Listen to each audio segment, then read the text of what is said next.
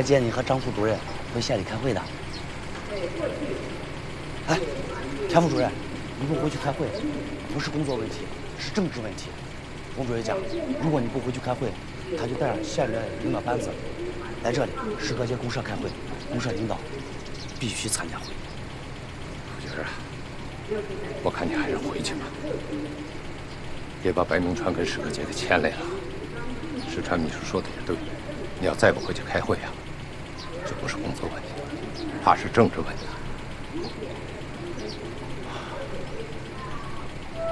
我想起了一件事情，前年县里组织我们几个领导干部去河南南阳考察学习，路过诸葛亮的庙，就是武侯祠。那个地方居然没被砸，我们就进去看了。田副主任，车还没熄火，应该回县里开会了。当我看到了岳飞的手书《出师表》。我们几个领导干部看到这个封建时代的岳飞手书《出师表》，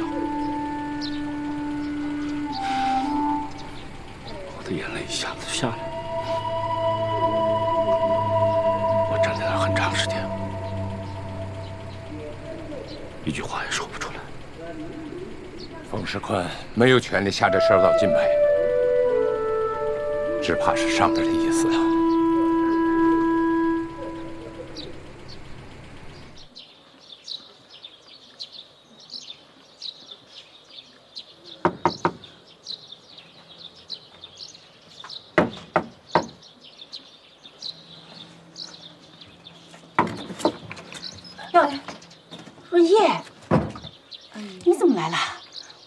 上班去呢，出事了。向前结婚，我同意了。啊？瑞叶，瑞叶，你咋来了？那瑞叶有什么话，咱们进屋说吧。进屋吧。不用了，就在这说吧。那行，那行行，你先进去啊，你去把饭菜热一热，咱们吃饭呢。好好好。瑞叶，你怎么突然就同意了呢？我二爸二妈因为这件事情闹得很厉害，村子里边，我爸也病了，少安他爸也不让我缠着少安哥，少安哥他也不见我。反正我想好了，跟李向前结婚，我同意。我不同意。这结婚呐，他不是说结就能结。得有感情，我们能有感情。李向前，他对我好，我能看出来。你真这么想？行，既然你都这么说了，那我就不为难你了啊！你们俩能成啊，我很高兴，二爸二妈呀也会高兴的。那，哎，你们俩要真能定下来的话，那得赶紧订婚呐！行，哎呦，你们俩订婚呐，我得让全县的人都知道这是大喜事儿。那我们两个人明天就去照相馆里照相，照好了让他们挂在橱窗里。哎只要你们愿意，给我们登到日报上也行。啊，好，行，走进屋吧。饭菜热好了，进来吧。走，吃饭。妈，你咋还不让瑞叶进屋呢？李向前，拉着我的手。把我送去学校，还愣着干啥？别光今天了，以后都送啊！行，去吧，去，以后都送。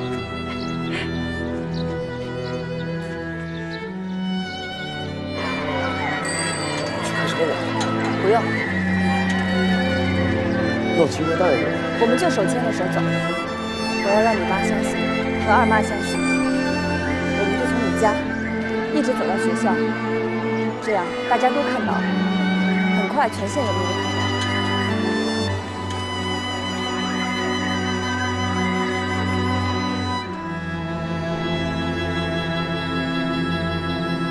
正。在开会啊，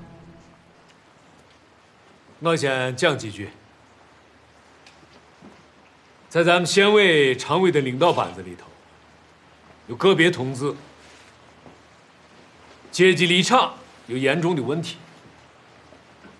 有请思想严重。就拿田福军同志来说吧，不但违规发放储备粮，还宣扬我们国家形势很不好，要改。哼，要改什么？要改成资本主义吗？啊？这是严重的政治思想问题。我觉得我们形势很好啊，我们国家的形势从来也没有像今天这样好过呀。是啊，我建议啊，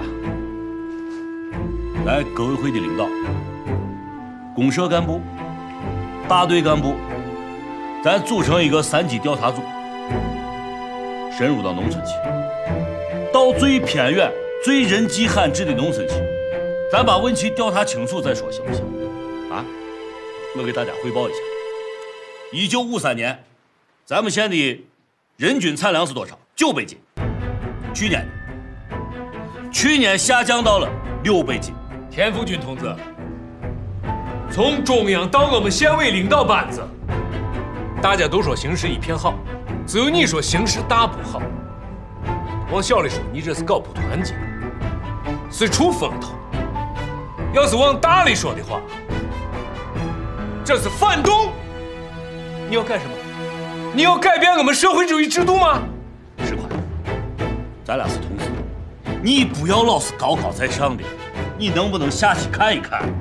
脚上沾点泥，手上沾点土，你看看老百姓的真实情况行不行？一九五八年到一九七五年，其中有十六年，咱们县人均口粮是多少？不到三百五十斤。去年呢？去年下降到三百一十五斤。不足三百斤的有两百四十一个大队，占全县人口的三分之一。农民是负债累累，生活贫困啊，缺吃少穿。每户的人均收入是多少？年收入三四十块钱。社员欠集体的储备粮食一千三百多万斤，相当于咱全县一年的征购任务。天灾人祸，收入低微，缺吃少穿，这是事实。问题是你不能把这一点事情无限的夸大。我咋夸大了？你非要把芝麻大一点事情夸大成西瓜那么大，我咋夸大了？我说的是不是事实？这是我亲自调研的结果。对对对，我说一句啊，我马国雄也是常委，我同意冯主任的看法。夫君，你这是什么用心啊？是要把秦始皇焚书坑儒的历史也揪出来吗？你少给我扣帽子，这是两码事情。我说的是不是事实？咱们元溪县是解放快四十年的老革命根据地，建国快三十年了，人民公社化已经快二十年了。我们不但没让老百姓富起来，反而让老百姓缺吃少穿。我们这些基层干部应该最体贴老百姓。面对这样的问题，我们不应该好好想一想，我们不应该好好的思考思考。田福军，你这是污蔑我们社会主义国家，污蔑我们共产党。我是主管农业的县领导干部，我认为对的，我一定会坚持，我一定会照我的思想干下去。这个现状就是要改，必须改。是党指挥枪还是枪指挥党？是听你田福军的，还是听共产党的？当然是听共产党的，但是也得听听老百姓的吧。下去检查工作的时候，你们心情不沉重吗？啊，你们难道没有从群众的情绪当中意识到，他们现在对我们的政策是多么的不满意？其次是不满意。你们，你们难道是要向毛主席革命路线进攻吗？你别个扣大帽子！什么扣帽子？好好好，这是事实。好了，大家不要吵了，不要吵了，不要吵了，停停停。呃，邓宇，邓宇，发表一下你的看法吧。你牙疼，牙疼说不出话，我知道。那好，把你的意见写出来吧。你不能到关键的时候你就牙疼，也不是说你不能牙疼啊。那大家如果都像你这样，那我们坐在这里开会还有什么意义啊？对，请下去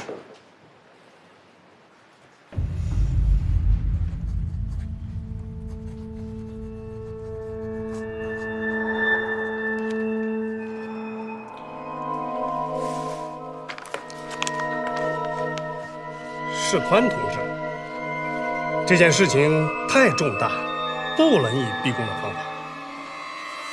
一个班子里的同志要注意团结。唉，白明同志，这什么意思啊？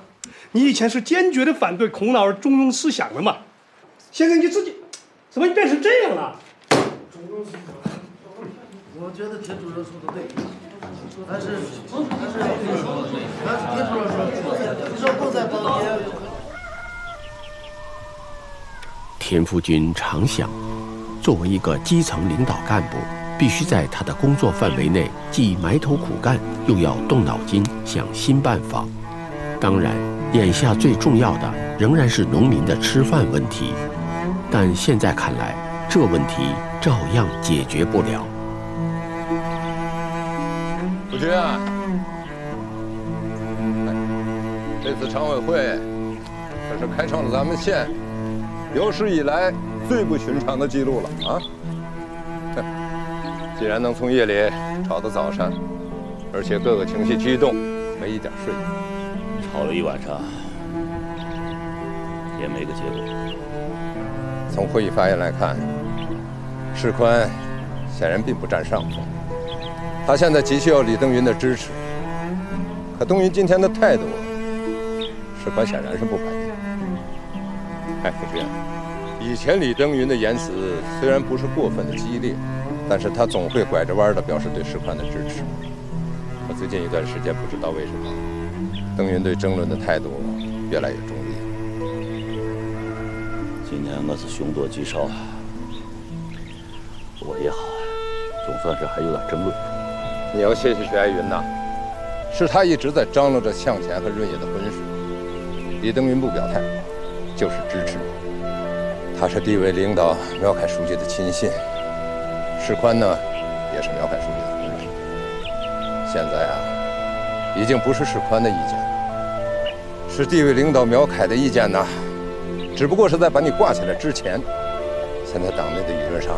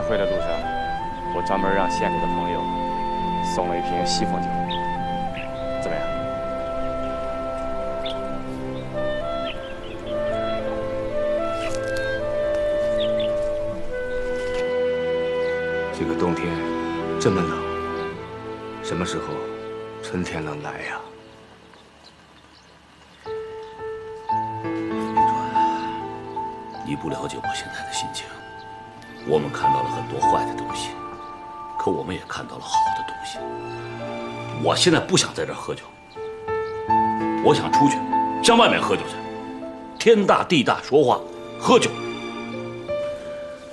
说咱们元溪县的事情，就应该在我们黄土高原上说，大声的说。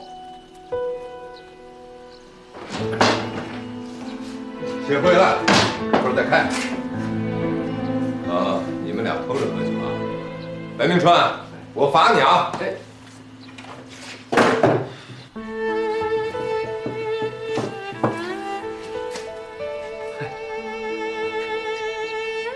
酒场上的话，柴草不挂。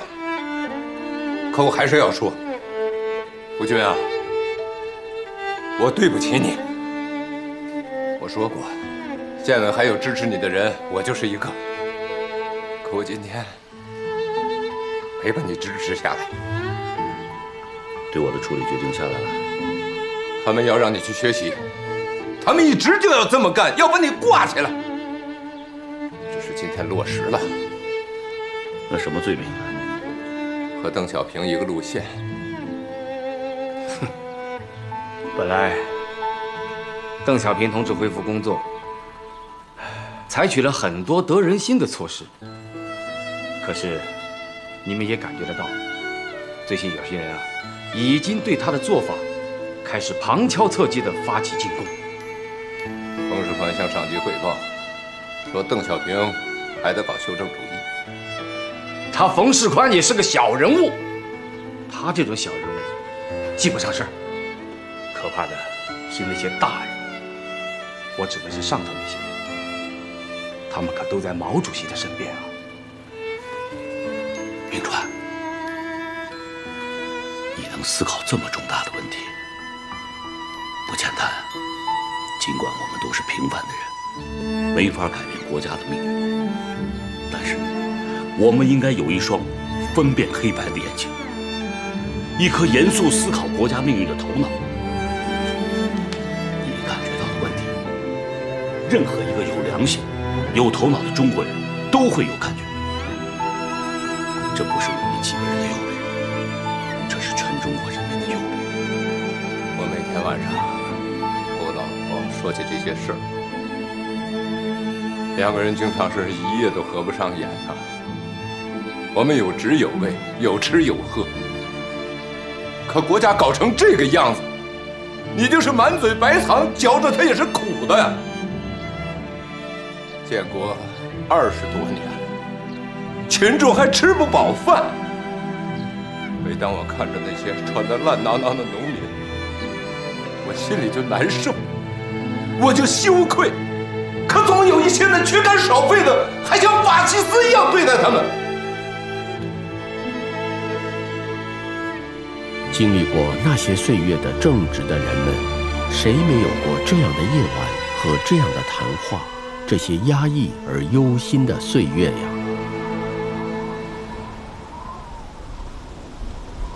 小雪，快快快进城逛逛！周周总理逝世了，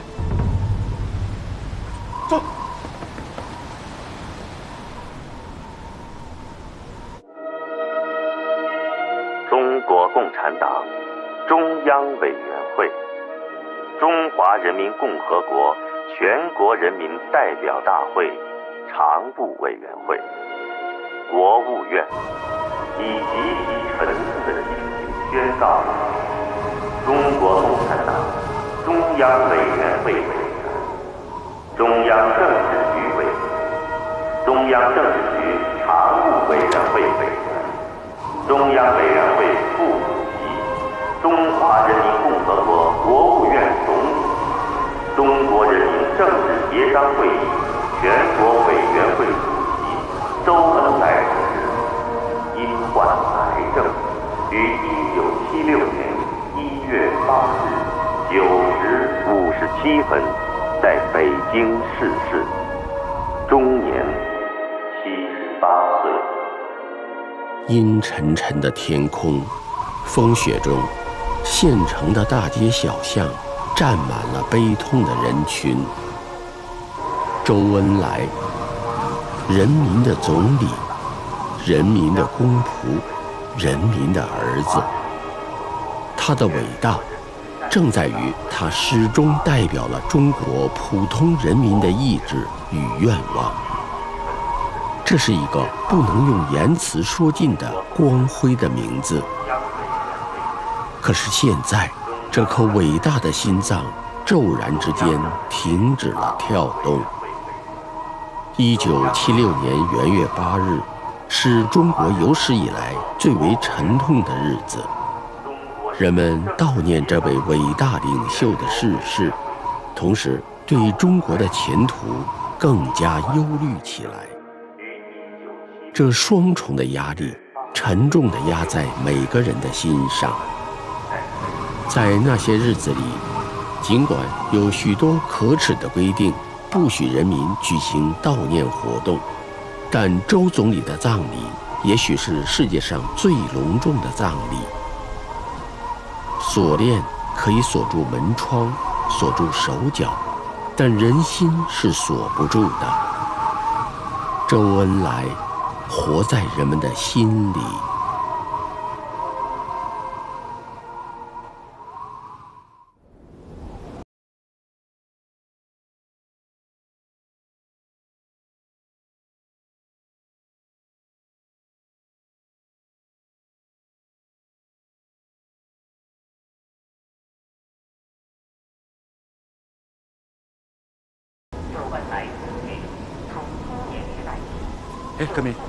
那不是田副主任吗？哎，是他。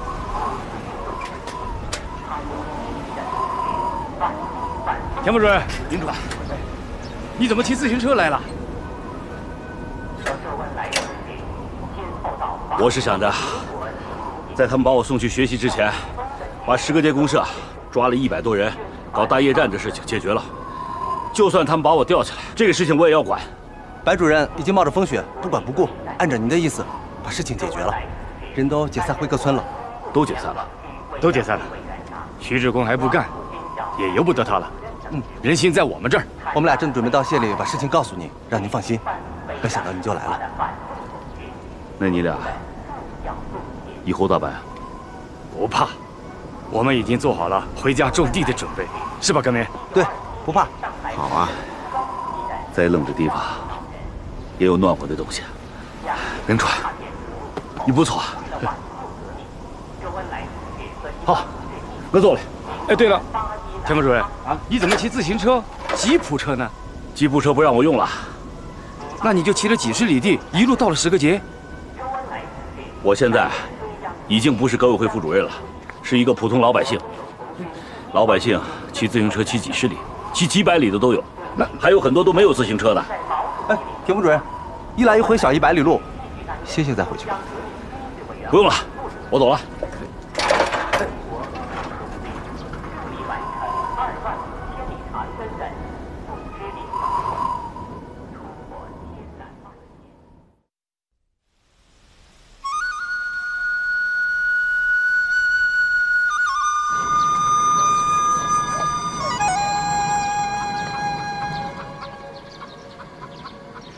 兰香，咱可得多磨磨，这软糜子啊，磨得越细，做出来的油糕就越好吃。大姐，我看我大哥结婚，你比自己结婚都上心，这么早就回来帮他准备待客吃食了。咱娘走得早，我又是家里的大姐。少安啊，是咱家第一个要结婚的男娃，可不能让人笑话。嗯。给我装点这个花椒和大料啊。是要做肉啊？这家里要办什么事儿吗？哎，这对面这个理发店理个发多少钱？女人剪个头三毛，汉子剪个头两毛五分钱一个。这么贵啊？那平常你的头是谁给你理的？我这个头是我们队的会计给理的，他有一套理发工具，都是他给我教。我这胡德禄的手艺啊，可好着呢。哦。哎呀。我看你这个人，是不是要做新女婿啦？这次让你给说对了。我这辈子还没有理过发呢，头一回，我像像样的理个啊！哎，对，哎，小安，你在这儿？哎，你咋来了？你小子行啊，终于娶上媳妇了。哎呀，本来我是想着过来登记的时候再邀请你呢，现在就算通知你了啊！啊，好。哎，你让公社人给我带话，说有事情要跟我说。我以为你又出了啥事情，原来是喜事。是，我还老出事。少安，啊啊，润叶订婚了，你知道吗？润叶订婚了，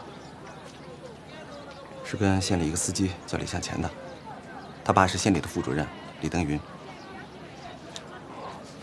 从小咱仨一块上学，润叶就喜欢跟你屁股后边。就算后来我俩上了县中学，你没去，他也是跟你要好。我那时候就觉得你俩肯定能成。少安，少安，你俩这都是好事啊。润叶也算找了个门当户对的。是，都是好事。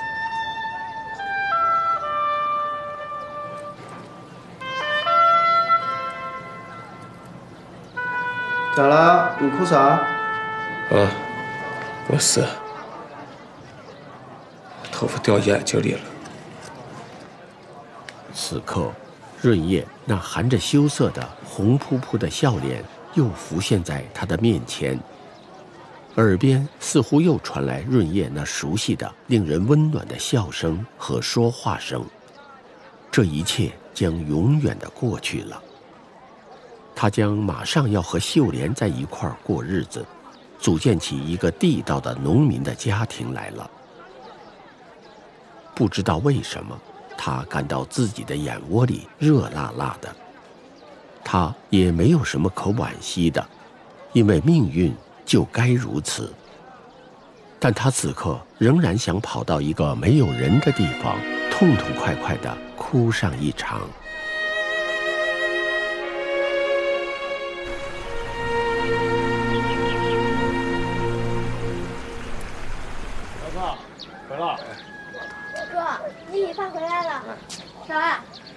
少文，哎呦，你回来了啊？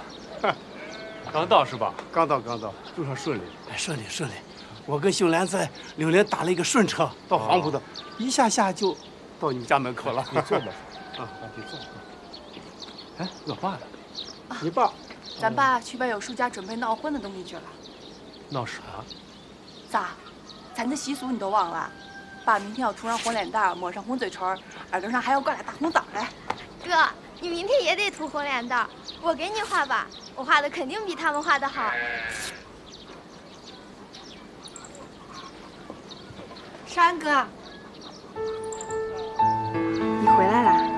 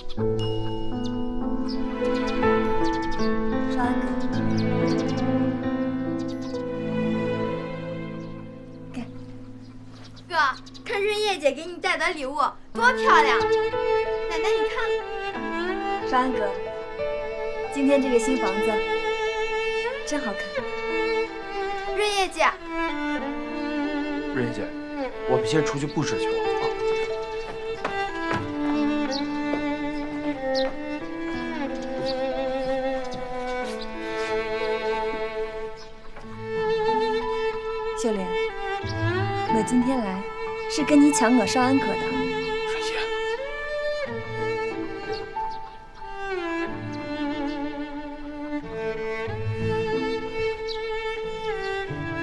我不信，是真的。我是为了二爸，为了二爸在工作上得到李向前他爸的帮助，才答应跟李向前订婚的。我也想忘了你，跟李向前好好的过日子。可我发现，忘不了，我真的做不到。一听到你要结婚，我就坐不住了。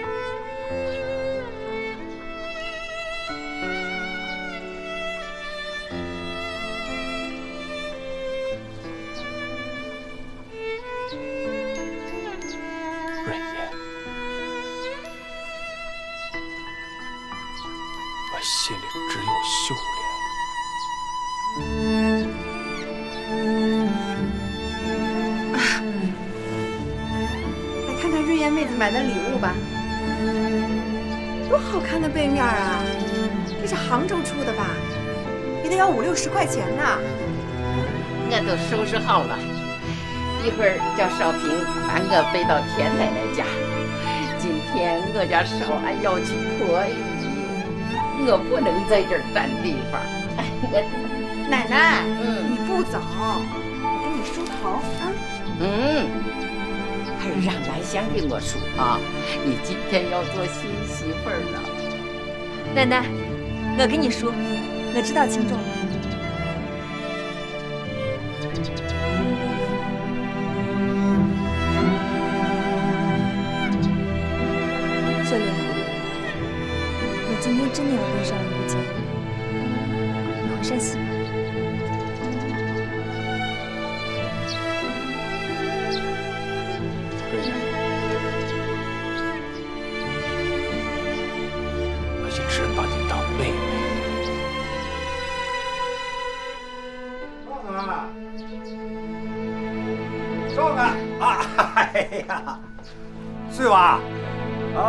我的贺礼。福涛说：“咋好让你破破费呢？买一个暖壶就行了嘛，你买两个。这叫什么话嘛？婚姻大事，好事成双嘛啊！哎呀，润叶啊，你不是想和少安哥结婚吗？行啊，今天我就把他让给你。来，你跟尚安哥把手手拉上，拉上啊！哎，哎，少安哥，我就是说笑，来闹洞房的嘛。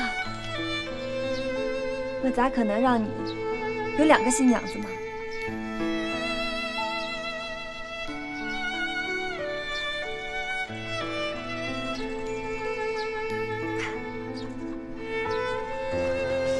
少安呐，他呀，就是没有我和你心眼多。你看，看人家秀莲，他比你更明白呢。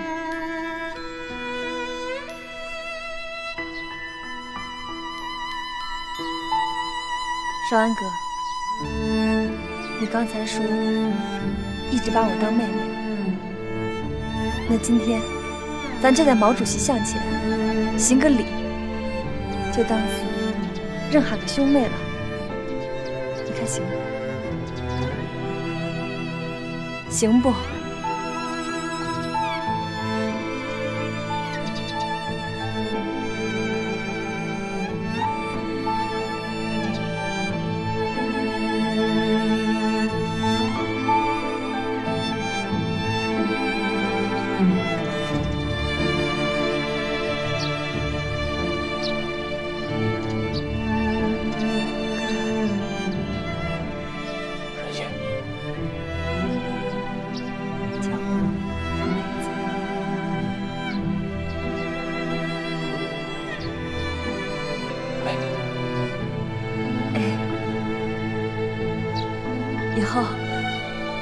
和兰香一样，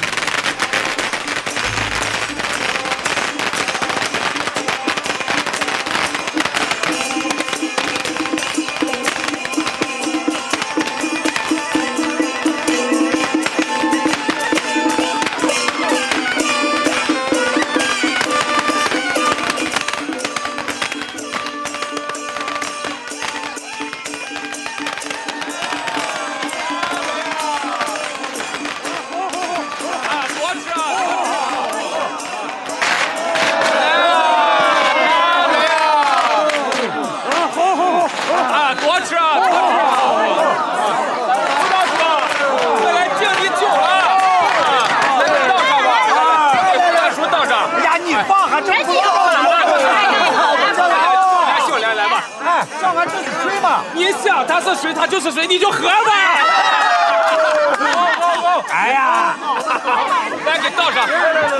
爸，我们敬你一杯。这杯给你啊。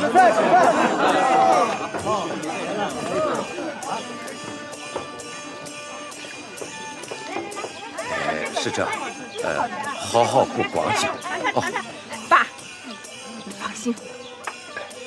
玉厚哥，哎，玉厚哥，你亲家呢？呃呃，指着亲家在福堂家。哎，他说这个日子南方不好过来，呃，等待会儿人散了，呃，没人了，过来吃席。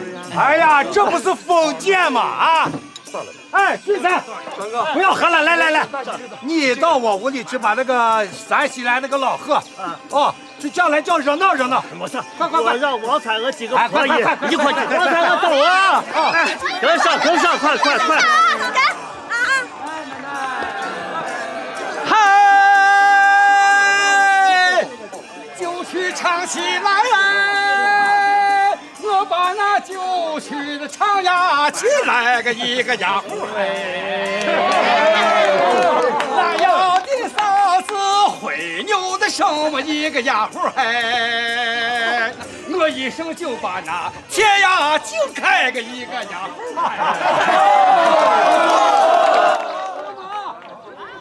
啊呀对对，那鸳鸯水，那沙一飘。少安哥，你已经结婚了，忘了你的润叶妹子吧，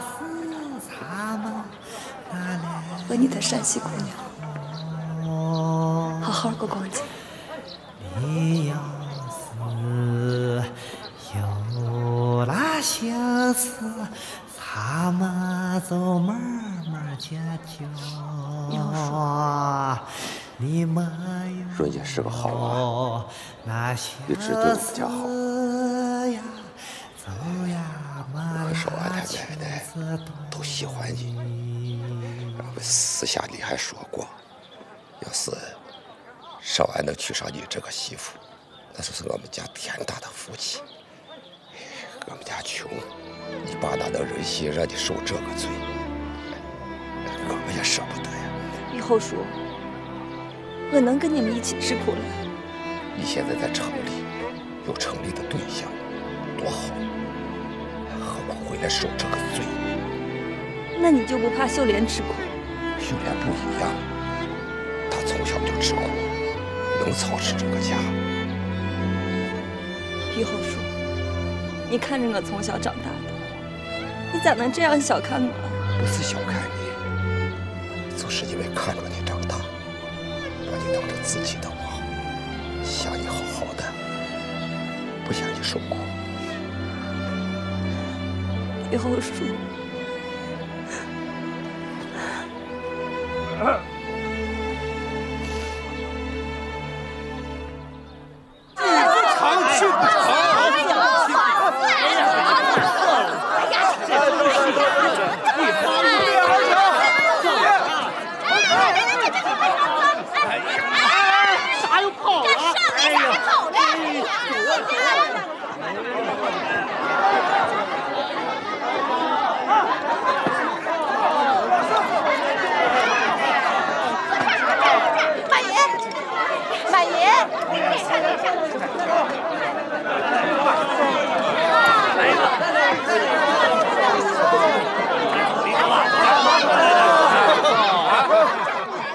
是个老丈人，好酒呀，喝酒！我敬你一杯酒啊！哎呀，我和秀莲敬你一杯酒。先吃一口。我不吃。少安，我把秀莲养这么大，今天就交给你，她就是你的婆姨。想打想骂，随意的便。哥，你还难受啥？对呀，寻思胜了吧，喜事吧。干事呢？干事呢？哎呀，少干事呢？我钱二叔，我田二叔来了啊！哎，按乡俗的规定啊，这个有叫花子参加红白喜事，这是吉利的征兆。来，我喝一杯，喝一杯啊！哎呀，我和我田二兄弟喝一杯啊！来，别拿着。哎，这雨后老汉干上去了？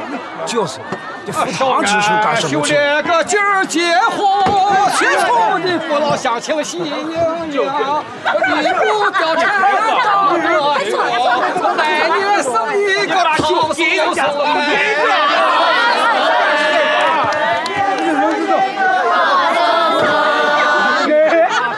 你不简单，生了个这赛貂蝉，我们招待那有福州，希望你就多。在这样高兴的时刻，少安一颗热腾腾的心突然冰冷了下来。这不仅仅是他和秀莲的婚礼，也是他和润叶的告别礼。此刻，少安流下的也不仅仅是高兴的眼泪，这泪水也代表着他和润叶的过去随之一起流走了。是的，亲爱的秀莲，你才是我的婆姨。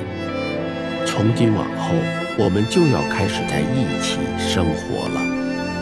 但愿你能永远像现在一样爱我，核心帮助我，和我共同撑扶这个穷家薄业吧。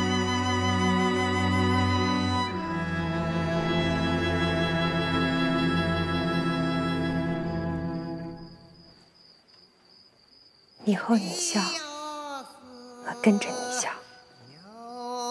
你流啥泪，那都替你活。秀莲，